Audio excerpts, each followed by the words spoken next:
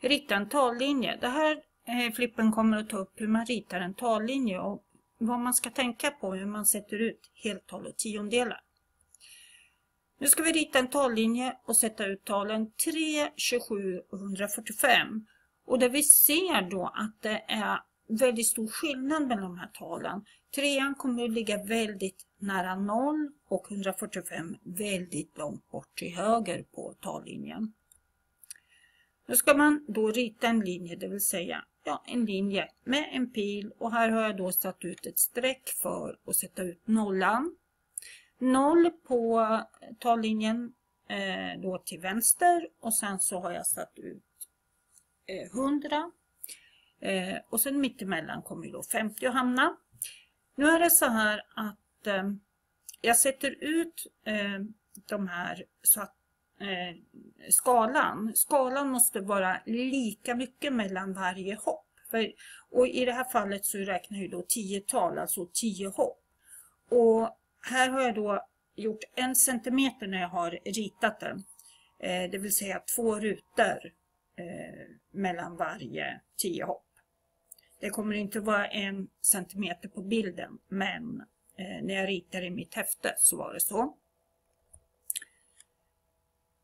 Och som sagt var, man måste ha lika långt mellan varje skalsträck och det är jätteviktigt för annars så är eh, tallinjen eh, rätt värdelös. För tallinjen är till för att man ska kunna avgöra hur långt det är mellan talen och eh, i förhållande till något annat och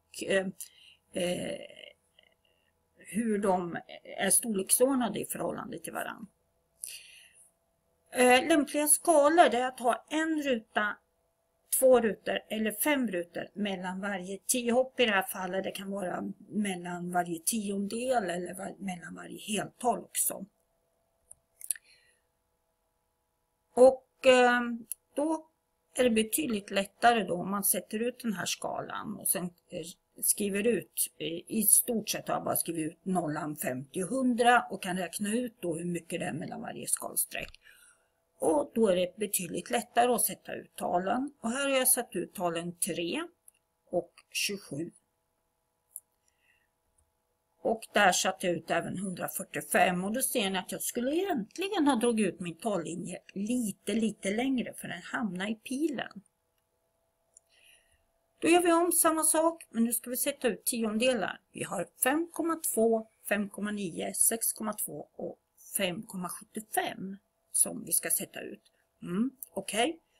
Okay. Eh, de som har en decimal har ju då, är ju tiondelar. Men 5,75 har ju två decimaler och den sista femman där är ju en hundradels siffra. Men den lämnar vi så länge. Jag har två rutor för varje tiondel. Eh, och då kan jag räkna ut, jag sätter ut femman och eh, då kan jag räkna ut var sexan hamnar. Och mitten måste ju då vara 5,5. Och hur vet jag det? Jo, alltså jag kan ju då efter den här femman sätta ett kommatecken och en nolla. Och efter sexan sätta ett kommatecken och en nolla. Och då blir det lättare att sätta ut min skala. Två rutor för varje tiondel. Och sen kan jag då sätta ut mina eh, tal. Här har jag då satt ut 5,2, 5,9 och 6,2. För de är enklast, de hamnar ju på ett skalsträck. 5,75 ligger ju mellan 5,7 och 5,8. Likadant där, jag kan sätta på nolla så jag kan utläsa då 5,7 som 5,70 och 5,8 som 5,80. Och 75 måste ligga precis mellan eh, 70 och 80. Så den måste hamna där.